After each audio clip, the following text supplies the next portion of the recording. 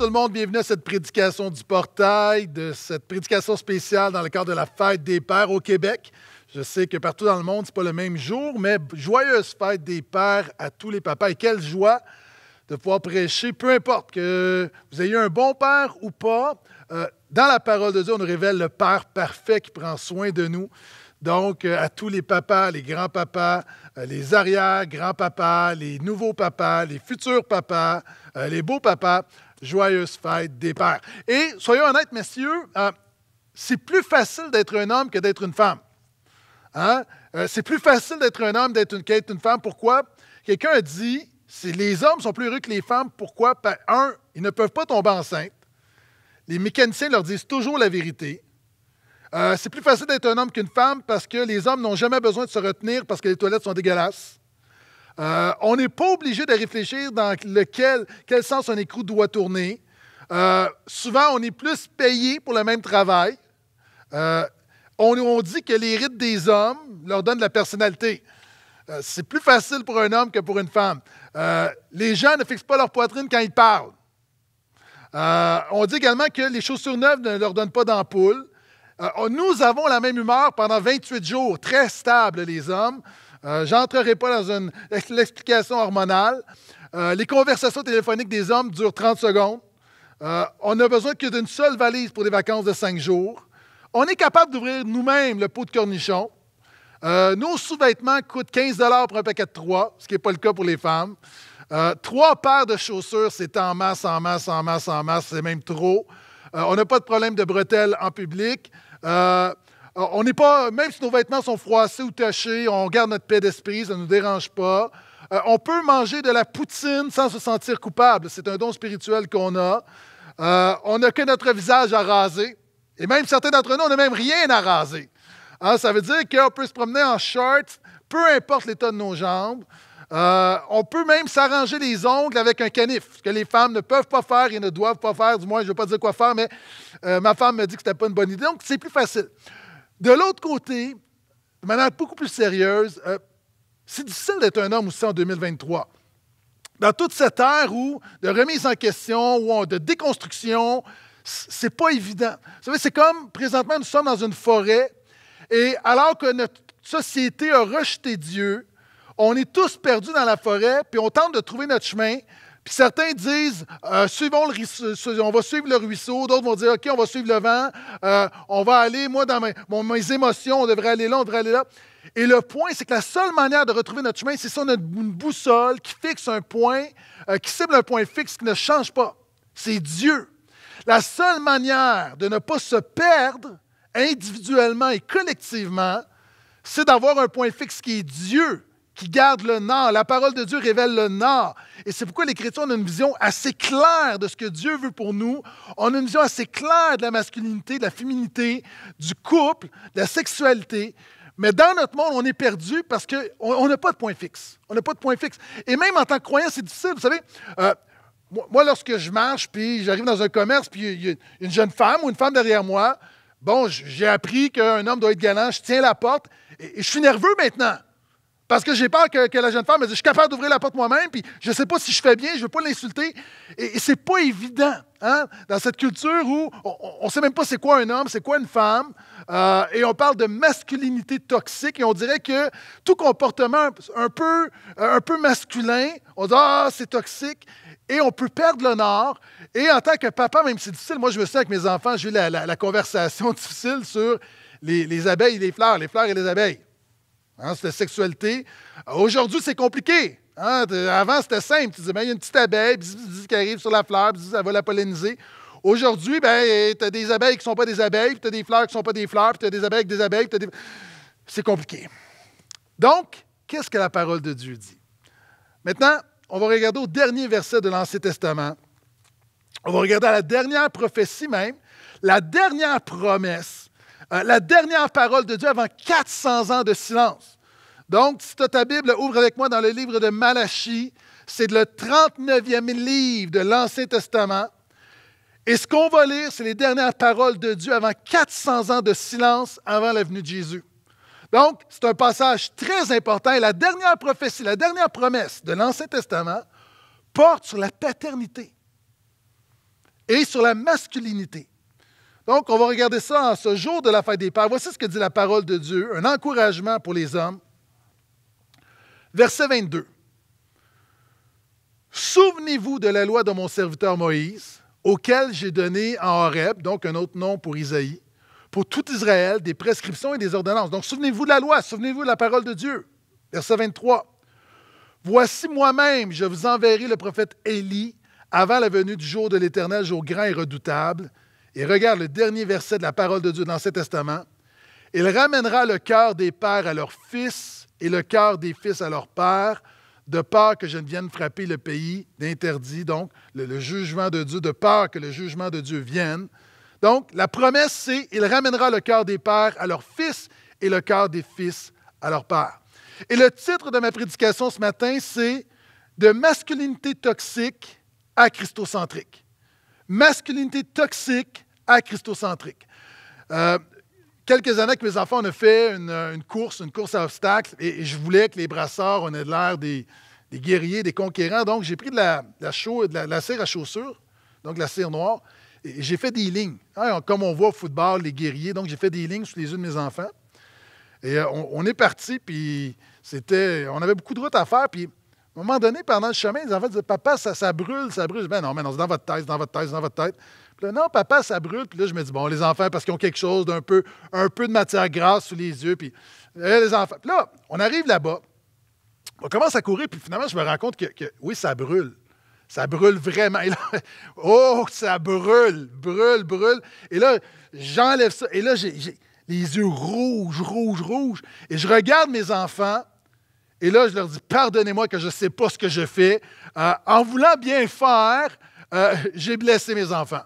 Et en tant que père, on fait notre possible. Et je connais plein de bons papas chrétiens qui sont des bons pères. On fait notre possible. Mais, messieurs, soyons honnêtes, souvent on est incompétent, souvent on ne se sent pas à la hauteur, il y a des défis qui nous, qui nous surpassent. Et j'ai une parole de Dieu pour toi. Et la première chose, je veux juste, comme on dit en hébreu, clairer un sujet. Je veux parler de masculinité toxique. Parce que souvent, on, l'attribue à une certaine forme de masculinité. Puis c'est important de comprendre, on parle de quoi? Ici, pourquoi est-ce que Malachie termine en disant, il ramènera le cœur des pères à leurs fils et le cœur des fils à leurs pères? Parce que dans le livre de Malachie, il y a un problème avec les hommes. Les hommes ont délaissé Dieu. Les hommes, puis tu le vois dans Malachie, les hommes délaissent leurs femmes. Il y a un problème de divorce dans le livre de Malachie. Il y a un problème de négligence parentale. Il y a un problème où les hommes ne prennent pas leurs responsabilités. Puis je veux te rassurer, euh, ce n'est pas le type de message que tu entends habituellement à la fête des pères ou à la fête des mères, on donne les fleurs, à la fête des pères, on donne le pot. Reste avec moi, je veux juste clairer un sujet, nettoyer un sujet pour t'annoncer la bonne nouvelle de la grâce de Jésus. Mais on doit réaliser que dans le livre de Malachie, il y a un problème avec les hommes. Et alors que dans notre culture, souvent de fois, on dit qu'il y a un problème avec les hommes, mais on parle de masculinité toxique, et je vais t'expliquer c'est quoi dans quelques instants. On doit comprendre que ce n'est pas le plan de Dieu, c'est la conséquence du péché. Suite au péché, Dieu va dire à la femme, voici tes désirs se porteront sur ton mari, c'est-à-dire le désir de le contrôler, de le manipuler, mais lui dominera sur toi. Alors qu'on voit que des hommes font, peuvent être toxiques autour d'eux, et certains comportements sont dénoncés, tu dois réaliser que ce n'est pas le plan de Dieu, c'est la conséquence du péché. Mais quand on parle de masculinité toxique, on parle de quoi? On parle de valoriser la dureté. Hein, les hommes doivent être tough. Euh, la suppression des émotions. Un homme ne pleure pas. Euh, l'autosuffisance. J'ai besoin de personne. Euh, l'objectivation de la femme. la domination masculine. Plein d'éléments que la parole de Dieu condamne. Donc, c'est important de comprendre pour savoir c'est quoi un homme selon le cœur de Dieu, c'est quoi la masculinité saine, biblique, christocentrique. Et si je reviens, vous savez, souvent on dit aujourd'hui les hommes, il faut être tough, il faut être tough, il faut être tough. Maintenant, on parle de quelle sorte de toughnitude? Hein? Jésus était doux et humble de cœur. Donc, Jésus qui était l'homme parfait, un vrai homme, c'est quelqu'un qui est doux et humble. Et Jésus était tough. Jésus a subi la croix. Maintenant, souvent, l'image qu'on a d'un homme, c'est qu'on est tough aux mauvaises places, puis on est faible aux mauvaises places. La Bible va dire à un moment donné, soyez des hommes. Wow! Vous savez, la parole de Dieu va dire à un moment donné, dans 1 Corinthiens 16, 13, soyez des hommes, soyez forts. Mais qu'est-ce que ça dit avant? Demeurez ferme dans la foi, soyez des hommes, soyez forts. Vous savez, souvent les hommes vont dire Hey, gros, hey, le gros dude, combien tu benches? En fait, ta force n'est pas déterminée par combien tu benches, combien tu lèves. Ta force, elle est déterminée par ta capacité à garder ta foi en Jésus malgré les tentations, les épreuves et les obstacles. Ça, c'est quelqu'un de tough spirituellement. La masculinité biblique, elle n'est pas toxique parce qu'elle véhicule d'être ferme spirituellement, pas d'être dur dans les relations, d'avoir un cœur doux et humble. L'homme, selon le cœur de Dieu, est gentil, mais il est tough. Il est capable d'encaisser la vie et de garder sa foi en Jésus par la grâce de Dieu. On dit souvent un homme, la suppression des émotions, un homme ne pleure pas. Tu vois, Jésus pleura. Mais la Bible enseigne également qu'il y a un équilibre. Vous savez, dans notre culture, on est dans une culture où tout le monde s'écoute tellement. Vous savez, il y a un extrême entre la suppression des émotions, puis juste se, vautrer dans nos émotions, puis juste être, marcher par nos émotions. Les émotions, Dieu nous les a données, elles sont, euh, elles sont un indicateur, mais un très mauvais guide. Ah, les émotions, c'est dans ta voiture lorsque, par exemple, la gauche à essence, il te manque, bientôt tu vas manquer d'essence, ça allume. C'est un symptôme de quelque chose. Mais tu ne peux pas marcher par des émotions. C'est pourquoi la parole de Dieu, le psalmiste va dire Pourquoi tu as battu mon âme? Attends-toi en Dieu. L'homme, selon le cœur de Dieu, sait. Dans notre culture où on s'écoute, on s'écoute, on s'écoute, à un moment donné, il faut arrêter de s'écouter puis il faut se parler. Donc, il y a une différence entre supprimer ses émotions. Les émotions sont saines. Oui, un homme peut pleurer. Oui, un homme peut vivre des choses. Oui, un homme peut les verbaliser. Mais en même temps, la Bible dit que l'homme, selon le cœur de Dieu, à un moment donné, tu ne peux pas passer ta vie en petite boule. À un moment donné, il faut que tu te lèves, tu prends tes responsabilités, puis tu suis Jésus, et tu cries à lui, puis tu t'attends à lui. Tu dis, Seigneur, impacte ma vie. Troisième chose, l'autosuffisance. Hein, j'ai besoin de personne, j'ai besoin de personne. Encore une fois, ce n'est pas le modèle biblique. La Bible dit que tous, hommes et femmes, on a besoin des uns des autres. Même c'est l'image du corps, hein, que la, tête a besoin du pied, puis on a besoin. Et peu importe, toi qui m'écoutes, peu importe qui tu es, et je parle aux hommes particulièrement, peu importe combien tu benches, peu importe ce que tu fais, peu importe ce que tu as l'air, peu importe tes muscles, peu importe. Je vais juste te dire que tu as besoin de quelqu'un. Tu as besoin des gens autour de toi. Euh, vous savez, les statistiques révèlent, puis on le voit à l'Église, que lorsqu'un couple bat de l'aile et qu'on demande de l'aide, 80% des demandes, et ça c'est vrai dans le séculier, c'est vrai dans l'Église, c'est vrai partout, 80% des demandes proviennent des femmes. Ah, puis là, on va parler de la fierté masculine. Mais non, à un moment donné, vous savez, le leadership spirituel, c'est quoi? C'est l'initiative. À un moment donné, ce n'est pas de la fierté, c'est péché de refuser de prendre l'initiative d'aller chercher de l'aide dans nos vies. Donc, il y a un modèle que la culture véhicule, ce n'est pas le modèle biblique. Le chrétien, la vie chrétienne commence par l'humilité de reconnaître que nous sommes pécheurs, nous avons besoin d'un sauveur. Et la vie chrétienne, c'est reconnaître qu'on a besoin d'aide. Aussi, quand on parle de masculinité toxique, on parle de l'objectivation de la femme. Hein, certains hommes se promènent comme si la vie était un meat market. Hein, tu sais quoi un meat market? C'est-à-dire, tu vas, puis l'étal de viande. Hein, puis, puis les femmes, pour certains hommes, c'est simplement comme, OK, c'est des beaux morceaux de viande. C'est C.S. Lewis qui va dire, puis il a écrit ça en 1952. Il va dire, vous savez, la sexualité, c'est un appétit qui est légitime. Dieu nous a créé avec des pulsions sexuelles, et les hommes, on a des pulsions sexuelles, comme les femmes, mais je parle des hommes. Et, les pulsions sexuelles sont saines. Elles sont bénéfiques, elles sont pour la gloire de Dieu, il y a un cadre. Bon. Mais C.S. Lewis va dire, dans notre culture, puis en 1952, ça, fait, ça fait 70, 80 ans qu'il écrit ça. Tellement pertinent. Il va dire, imaginons qu'on arrive dans un pays, puis à un moment donné, plusieurs hommes, après une journée, à un moment donné, on se dit, OK, on, s'en va dans un endroit, puis c'est un endroit où tu t'assois dans une salle euh, un petit peu euh, sombre, et là, tu as un stage, et là, tu as comme tu as, un voile, et là, tranquillement, on soulève le voile. Puis là, tu vois à un moment donné un petit morceau de bacon. Puis là, on, on, enlève le voile tranquillement avec la musique langoureuse. Puis on fait un striptease alimentaire. C'est quoi votre problème? Vous n'êtes pas normal. Puis tout le monde est sur son téléphone à regarder des, photos de nourriture continuellement. Chérie, qu'est-ce que tu regardes? Non, non, non, rien, rien. Puis là, tu effaces l'historique pour pas qu'on voit tout le poulet que tu as recherché. tu comprends? C'est comme tu dirais, mais c'est un non-sens. La nourriture, c'est un, l'appétit pour la nourriture, c'est légitime. Mais à un moment donné, c'est comme, il y a un problème lorsque c'est partout. Et dans notre culture, alors qu'on parle de libération sexuelle, c'est de l'esclavage sexuel. C'est que nous avons un problème avec le sexe. Non pas parce que le sexe est mal, mais c'est le sexe, c'est juste, on en met tellement partout parce qu'on a un problème avec le sexe, parce qu'on ne comprend pas le cadre de Dieu pour le sexe.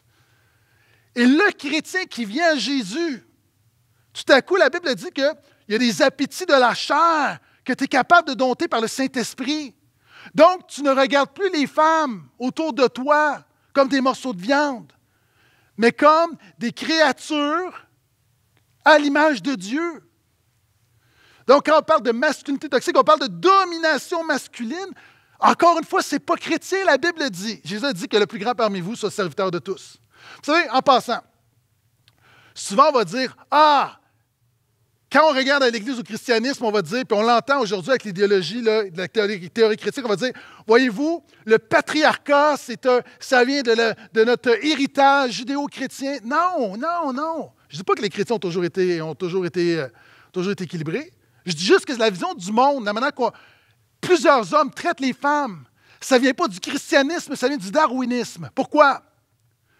Parce qu'en 1859, quand Darwin a écrit son ouvrage défendant la théorie de l'évolution, donc sur la, la, théorie des espèces, ce que Darwin disait, c'est que l'homme est un animal plus évolué que la femme. Quand il regarde l'évolution, il se disait que l'homme est supérieur à la femme. Et cette vision de l'homme qui est supérieur à la femme, dans notre culture, vient que notre culture a délaissé le christianisme où la parole de Dieu dit aux hommes d'utiliser notre leadership spirituel pour protéger et honorer les femmes autour de nous. Et on a adopté, on a délaissé Dieu, on a adopté le darwinisme, où finalement on voit que c'est le plus fort qui gagne. Et c'est comme ça que les hommes, plusieurs hommes se croient supérieurs aux femmes. Mais encore une fois, c'est une mauvaise vision du monde. Donc, c'est pourquoi, regarde, c'est pourquoi Malachie va dire au verset 22, Souvenez-vous de la loi. Pourquoi? Parce que la réponse à la masculinité toxique, c'est le standard biblique, deuxièmement. Souvenez-vous de la loi. Il y a un standard biblique de la masculinité biblique, masculinité épanouie. OK, encore une fois. Deux extrêmes. Il y a deux, deux extrêmes sur la masculinité chrétienne. Souvent, il y a des gens, des non-croyants, qui vont voir les hommes chrétiens comme des hommes faibles. Hein? Nice guy. on est gentil. Hein? On est là, on va à l'église le dimanche. Hein? On ne mène pas trop de bruit. On pardonne. On tend l'autre joue. Il y a un sondage qui a été fait de Woody Davis qui, qui posait la question à des hommes pourquoi est-ce que vous n'allez pas à l'église? Et si on résume les réponses, c'est que l'Église est pour les femmes, les enfants et les, les, mauviettes. Je vais y arriver. Voyez-vous, j'ai la misère à le dire. L'Église est pour les femmes, les enfants et les, les mauviettes. Maintenant, il y a un homme qui écrit un livre, un chrétien qui écrit un livre justement sur la masculinité chrétienne biblique. Et voici ce qu'il dit. Il dit c'est complètement l'inverse. Dieu a créé l'homme avec un cœur de guerrier pour défendre le bien, conquérir le mal et protéger le faible. Quand tu regardes dans la Bible, tous les commandements que Dieu donne à l'homme, je parle à l'homme avec un petit H, je parle, encore une fois, de masculinité. C'est toujours, toujours, toujours pour défendre le bien, conquérir le mal, protéger le faible. Ce que cet auteur-là va dire, John Elredge va dire, que l'homme a été créé, la nature profonde de l'homme, quand tu regardes dans Genèse 2, l'homme a été créé pour vivre des aventures, pour livrer des batailles et sauver des princesses. C'est pourquoi quand tu regardes un film de gars, tu as remarqué c'est quoi un film de gars? Ça, c'est quoi? Un film de gars, là, ça saute partout, puis il y a des voitures. Il y a toujours les trois M. Toujours, toujours, toujours, toujours. Il y a une mission, il y a une madame, puis il y a un méchant. Pourquoi c'est des films de gars? Parce que ça vient chercher notre nature profonde. Et notre nature profonde, ce n'est pas Darwin qui t'a donné, c'est Dieu qui t'a créé comme ça. En tant qu'homme, nous sommes bâtis comme ça. Le problème de plusieurs personnes, de plusieurs chrétiens, c'est que tu as dompté ta nature profonde. Et notre culture veut, avec les extrêmes de masculinité toxique, on veut émasculer les hommes. Alors que en Jésus, tu es appelé à devenir ce pourquoi Dieu t'a créé. Vous savez, c'est comme bébé chameau qui dit à son papa chameau, il dit, Papa, pourquoi est-ce qu'on a des, des longues pattes avec trois gros, un pied comme ça, avec trois gros orteils? Le papa dit, ben, c'est pour marcher dans le sable du désert, pour nous aider à avancer dans le désert. Il dit, OK, OK. Papa, pourquoi est-ce qu'on a des longs cils? Ben, parce qu'il y a des tempêtes de, vent dans le désert, c'est pour protéger nos yeux du désert. Ah, OK, OK, OK. Papa, pourquoi on, a des bosses sur le dos? Ben, pour nous aider à survivre dans le désert, pour accumuler de l'eau, des graisses, de la graisse, pour survivre longtemps dans le désert. Dit, OK, papa, il dit, si on a des pieds pour marcher dans le sable du désert, puis on a des yeux, qui, des cils qui nous protègent du sable du désert, puis on a des bosses pour nous permettre de survivre pendant de, de longues journées dans le désert, qu'est-ce qu'on fait dans un zoo? Et tu vois souvent les hommes chrétiens, tu es comme dans un zoo, c'est-à-dire, tu permets au péché, à la culture, peu importe, de dompter ta nature profonde. Alors que cette nature-là, Dieu te l'a donnée pour le glorifier. Ah, puis tu le vois avec la paternité. As-tu remarqué comment les, les, pères et les mères, nous sommes différents? Pas meilleurs, pas pire, nous sommes différents. As-tu remarqué comment une maman, une maman va toujours prendre le bébé vers elle? Toujours vers elle, vers l'intérieur. Les papas, on le prend vers l'extérieur. Pourquoi? C'est justement, c'est le rôle du père de former son enfant à la vie extérieure. Dans plein de choses. Hein, souvent, par exemple, lorsqu'il arrive une situation, puis l'enfant veut savoir, puis l'enfant va débattre, puis la mère est beaucoup plus patiente souvent pour la communication. Hein, la réponse du père, souvent, c'est pourquoi c'est comme ça? Parce que je te le dis. Euh, souvent de fois, tu vois à la maison, hein, par exemple, ma femme, il y a un morceau de gâteau, les enfants ont eu leur morceau de gâteau, elle est prête à se sacrifier pour leur donner son morceau de gâteau. Le papa va manger le morceau de gâteau. T'en as eu un, j'en ai eu un, voici, c'est ça, c'est la vie. Mais il y a quelque chose, il y a une pédagogie, on prépare les enfants à la vie. Vous savez, lorsque euh, on revient, puis tu vois ton enfant, euh, tu reviens du travail, tout ça, la maman a le goût de cajoler son enfant. Qu'est-ce que le père a le goût de faire? Tu as le goût de le lancer, pas comme ça, comme ça. On veut lancer. Il y a quelque chose en nous. Hein, la maman va minoucher, on va se tirailler. Euh, Lorsqu'à un moment donné, on dit à l'enfant sur la balançoire, arrête de te lever comme ça, tu vas tomber, ça fait trois fois que je te le dis. Il tombe, il se fait mal, la maman dit, viens voir maman. Papa, il dit, ben bon pour toi, je te l'avais dit. Il y a une pédagogie spirituelle là-dedans. Oui, lorsque c'est qui généralement qui, lance l'enfant en vélo? C'est le papa, parce que la maman est terrorisée. La maman est en jeûne et prière dans le sous-sol. Ah, puis il tombe là, ah, ah, il se passe faire mal. Qu'est-ce que le papa dit? Relève-toi, c'est correct, c'est correct, tu vas pas mourir, on continue. Ça ne veut pas dire qu'on n'est pas sensible, ça ne veut pas dire qu'on n'a pas de la compassion. Ça veut juste dire que Dieu nous a créés d'une manière, ça s'appelle le complémentarisme. Du moins, à ce niveau-là, là, il y en a, je pourrais développer là-dessus, mais nous sommes complémentaires. Ah, tu le vois, la maman, lorsqu'on arrive, avez-vous remarqué, c'est beaucoup plus simple lorsqu'on va à la plage sans maman?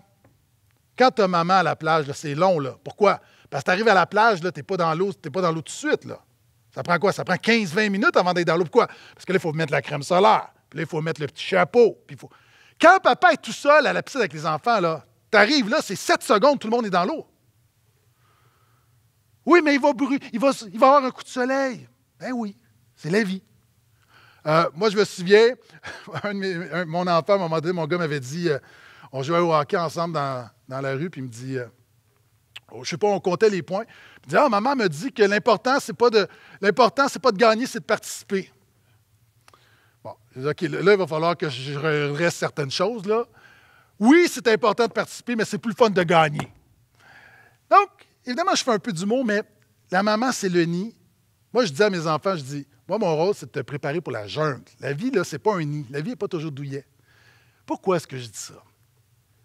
Parce qu'en tant qu'homme, évidemment, en tant qu'homme chrétien, on rejette la masculinité toxique. En même temps, il ne faut pas s'excuser d'être des hommes. Dieu nous a bâtis comme ça. Dieu nous a bâtis comme ça. Nous avons des dons, on a des talents pour la gloire de Dieu. Et la culture, souvent, on voit les hommes chrétiens comme soit des hommes délicats ou soit on va dire, ah, le christianisme a une vision abusive de la masculinité. Hein, je l'ai mentionné, on va dire, puis je l'entends tellement. Ah, on va dire, on dénonce aujourd'hui, on dit, ce qui ne marche pas aujourd'hui dans les relations hommes-femmes, c'est l'héritage judéo-chrétien qui a amené le patriarcat. C'est quoi le patriarcat? C'est le pouvoir, le privilège des pères. Les hommes veulent défendre ce privilège-là, puis les chrétiens vont promouvoir le patriarcat, puis c'est mal, puis il faut s'affranchir, puis il faut se déconstruire. Puis... OK, reste avec moi là. Il arrive quoi quand un homme donne sa vie à Jésus? Réfléchis là. OK? Parce que des fois, on entend des choses qui ne tiennent, pas, tiennent pas la route. Hein? Premièrement, quand moindrement que tu connais des chrétiens, puis tu vois autour de tu, c'est pas le cas. Je dis pas que, comme dans tous les milieux, il y a des bons et des mauvais chrétiens, mais je dis de manière générale, c'est pas ça qu'on prêche, c'est pas ça qu'on vit. Euh, il arrive quoi quand un homme, ainsi le christianisme était si toxique, quand un homme, un homme donne sa vie à Jésus, qu'est-ce qu'il commence à faire? Est-ce qu'il commence à boire plus, à se droguer, à tromper sa femme, à être irresponsable, à ne plus rentrer la nuit, à voler son patron? Est-ce que c'est ça qui arrive, non? As-tu remarqué quand un homme donne sa vie à Jésus, il se passe quoi? Généralement, il devient responsable, devient honnête, intègre, devient fidèle à sa femme, présent pour ses enfants. Jésus n'est pas la cause de la masculinité toxique, mais le remède. Jésus est la solution. Et c'est pourquoi le verset 23, après avoir parlé du standard biblique, fait une promesse évangélique. Regarde, voici moi-même, je vous enverrai le prophète Élie avant la venue du jour de l'Éternel, jour grand et redoutable. Dieu dit, je vous enverrai le prophète Élie. Wow! Pourquoi? Parce qu'on n'est pas capable, nous les hommes, d'accomplir la parole de Dieu par nous-mêmes. On a besoin d'aide, on a besoin de la grâce de Dieu. Un jour, un père revient à la maison puis il trouve une note sur la table de la cuisine et je vous la lis. Mon papa chéri, je suis désolé de devoir te dire que j'ai quitté la maison pour aller vivre avec mon copain. Il est l'amour de ma vie, tu devrais le voir. Il est tellement mignon avec tous ses tatous, son piercing et sa super moto. Mais ce n'est pas tout. Je suis enceinte. Il me dit que nous aurons une vie superbe dans sa roulotte en plein milieu du bois. Il veut beaucoup d'enfants, c'est mon rêve aussi. Je me suis rendu compte que la marijuana est bonne pour la santé. Nous allons en cultiver et en donner à des amis lorsqu'ils seront en cours d'héroïne. Entre-temps, j'espère que la science trouvera un remède contre le sida pour mon copain afin qu'il aille mieux. Ne te fais pas de soucis pour moi, papa, j'ai déjà 16 ans et je peux faire attention à moi toute seule.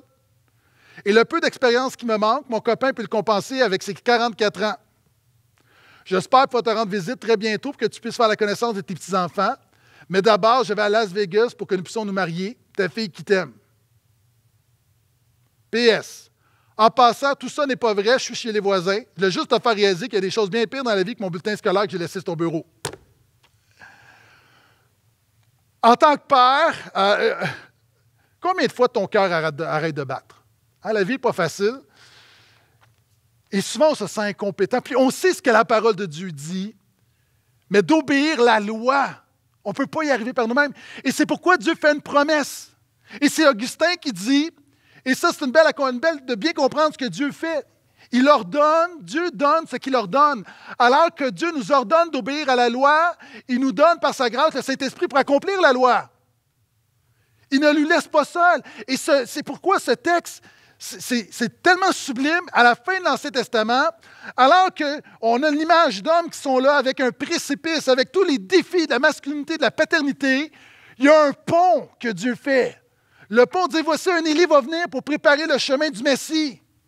Et lui va vous donner la capacité de faire ce que vous ne pouvez pas faire par votre propre chair. Vous savez, dans la tradition juive, dans certains rituels, on laisse une chaise vide pour Élie. Parce qu'on attend qu'Élie revienne.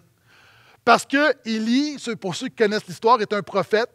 C'est un prophète de la repentance. Dans un temps où le peuple de Dieu se détournait du seul vrai Dieu, Élie a fait cette prière en disant Seigneur, c'est toi qui tournes leur cœur vers toi.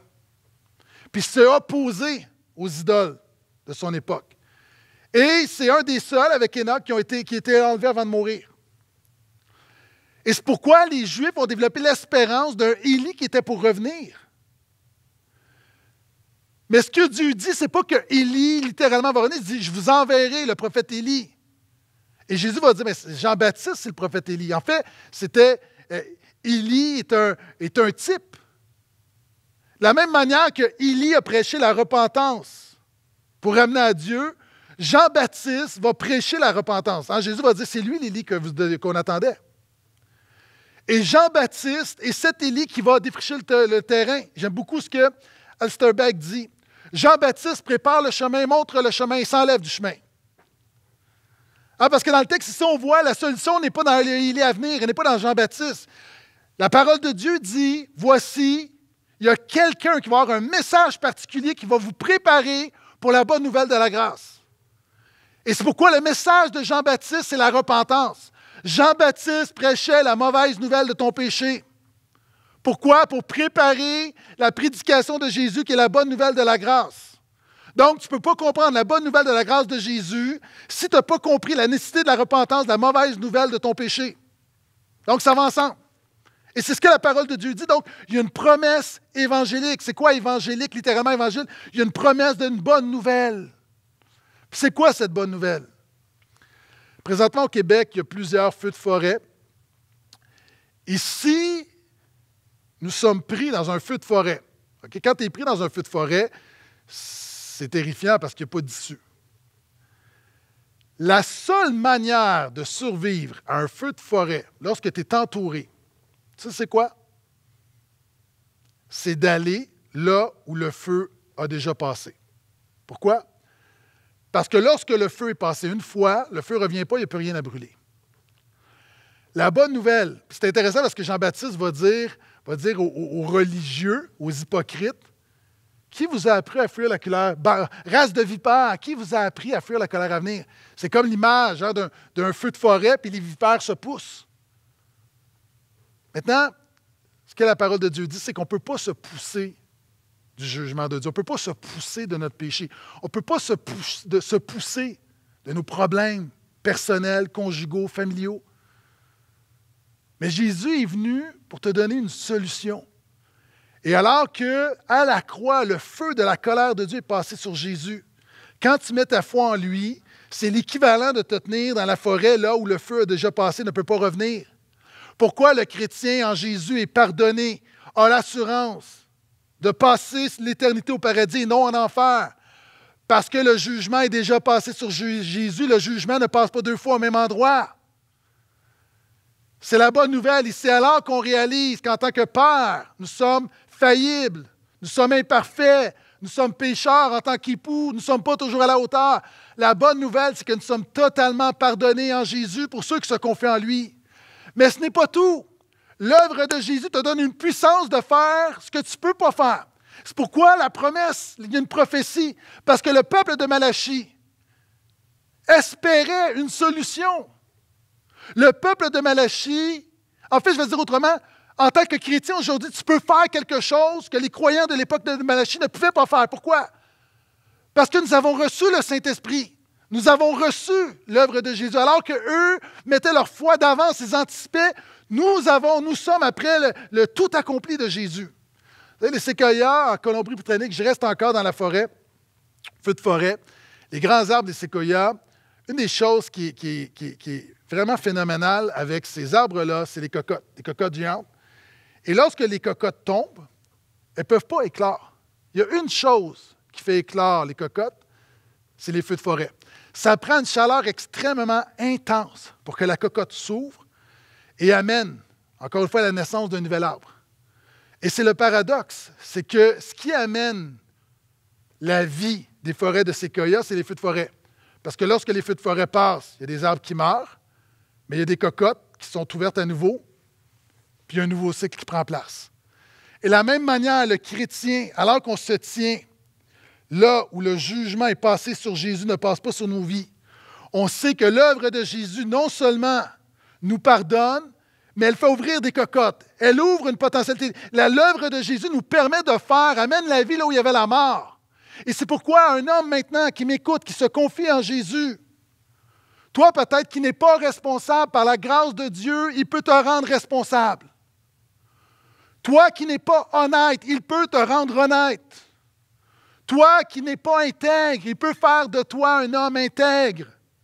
Toi qui n'es pas fidèle, oui, ça existe. Il peut faire de toi un homme fidèle qui prend soin de son épouse. Toi qui es un Père absent, il peut faire de toi un Père présent.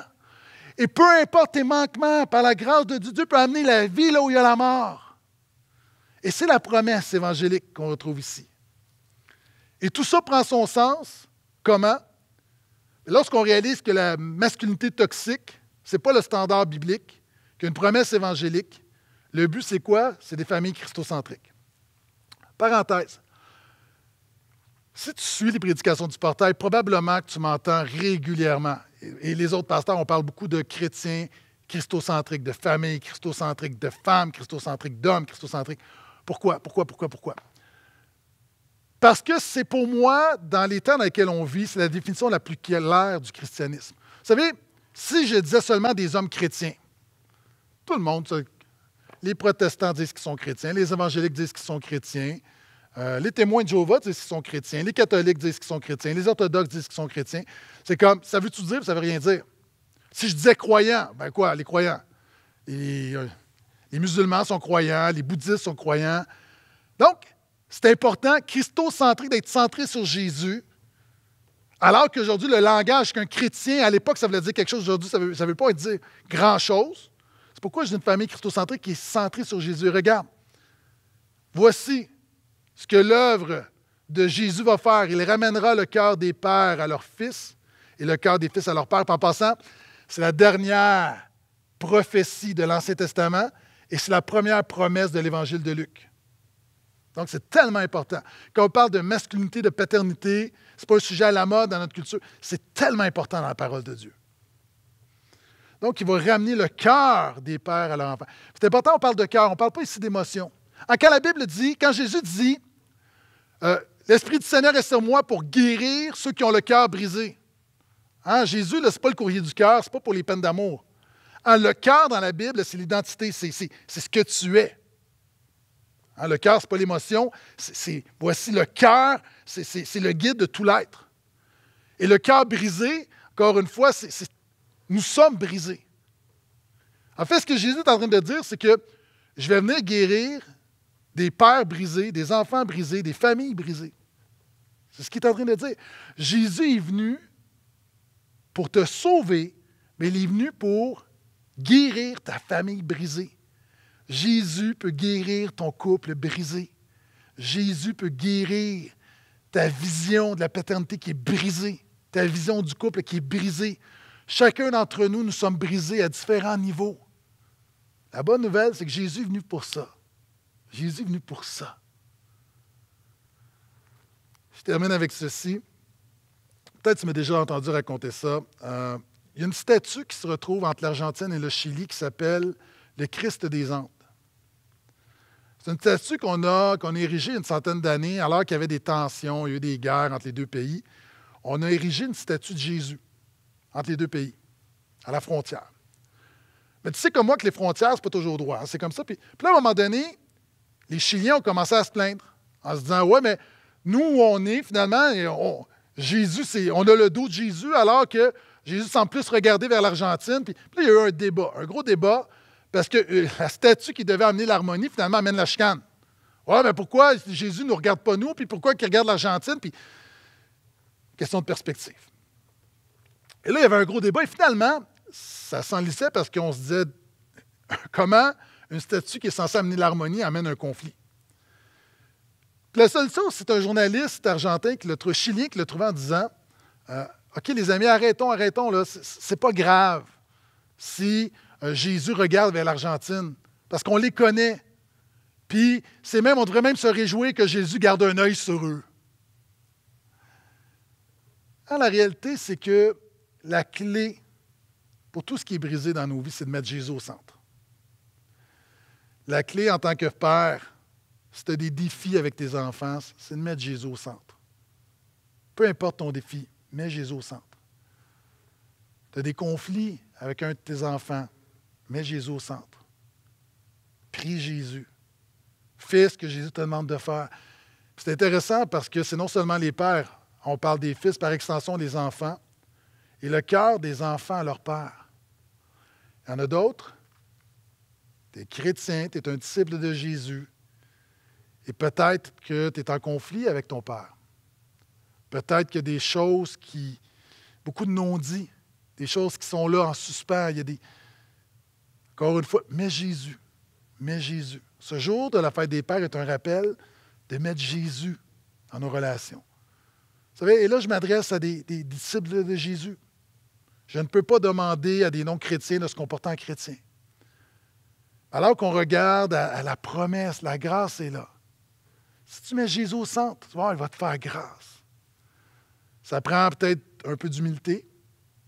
Ça va prendre peut-être un peu euh, de renoncement. Il va falloir peut-être mourir à ton orgueil. Mais peu importe les défis, en ce moment, alors qu'on penche la tête, je t'invite vraiment à le faire à la maison, sauf si tu conduis en voiture, garde les yeux ouverts, s'il te plaît. Mais j'aimerais que pendant quelques instants, tu, tu laisses le Saint-Esprit faire un diagnostic de tes relations. Certains, peut-être, été fâchés contre Dieu par rapport à une situation dans ta famille. Mais laisse pendant quelques instants le Saint-Esprit cibler, révéler ce qui est brisé en toi, autour de toi, dans ta maison, dans ton foyer, dans ta famille. Et le Saint-Esprit n'est pas juste là pour cibler ce qui ne va pas, il est là pour appliquer l'œuvre de Jésus pour apporter une solution. Il y a des choses que tu ne contrôles pas. Des fois, dans un conflit, on ne contrôle pas que comment l'autre va réagir. Mais en tant qu'enfant de Dieu, Jésus te donne la capacité de, pardonner. Jésus te donne la capacité de faire grâce. Jésus te donne la capacité de restaurer. Jésus te donne la capacité de guérir. Et je conscient, qu'il y a plein de, figures, plein de cas de figures, la vie est complexe. je veux simplement, simplement te demander d'avoir la foi la foi en ce Jésus, la foi de mettre Jésus au centre, et la foi de croire qu'il y a assez de grâce pour restaurer ce qui est brisé en toi et autour de toi. Seigneur, je te prie pour chaque personne maintenant. Merci d'être le Dieu qui ramène le cœur des pères à leurs fils et le cœur des fils à leurs pères. Alors que nous avons le cœur brisé, merci. Merci pour cette promesse et Jésus a dit, tout est accompli. Donc, nous n'avons plus à attendre. Il n'y a plus de chaise vide où on devait attendre Lily à venir. Il est venu. Par le message de Jean-Baptiste, Jésus est venu. Donc, je te prie simplement, donne-nous la grâce. Donne la grâce à des hommes de mettre Jésus au centre de leur couple, alors qu'il peut y avoir des tensions, alors que des couples peuvent battre de l'aile. Donne la grâce aux hommes de te mettre au centre en nos relations avec nos enfants, avec nos parents. C'est un moment où, dans la prière, nous te mettons au centre Jésus. Et en terminant, je te remercie pour chaque papa, grand-papa, arrière-grand-papa, beau-papa qui, qui, fait son possible et qui veut t'honorer, qui veut obéir à ta parole, qui veut marcher à ta suite.